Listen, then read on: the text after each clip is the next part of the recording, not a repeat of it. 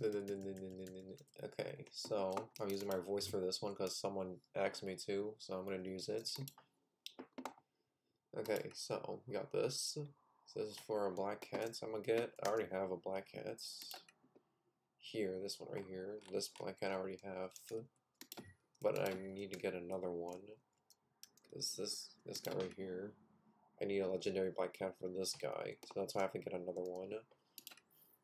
And if I look in the calendar, uh, one hour and one day and ten hours. So that is 1 a.m. tomorrow, so I'm not be able to get that.